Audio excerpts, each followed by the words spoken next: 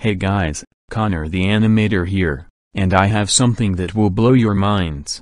I now despise Jordan the Vyonder 2021. Why? Because an hour ago, my friend Joseph Anime 2021 exposed him for making a very gross video, and Jordan also deleted the video to avoid hate and backlash, and Jordan, if you're watching this, you are permanently blocked from Discord and YouTube by me.